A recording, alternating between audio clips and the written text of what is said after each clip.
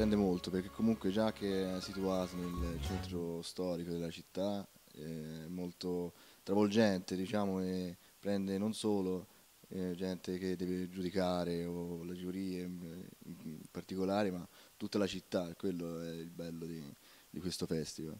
E ovviamente poi anche una città che è bellissima con tutte le, le sue sfaccettature, tantissimi stili diversi, tantissime storie, tantissime eh, tematiche, molto anche eh, pesanti, leggere, ma eh, comunque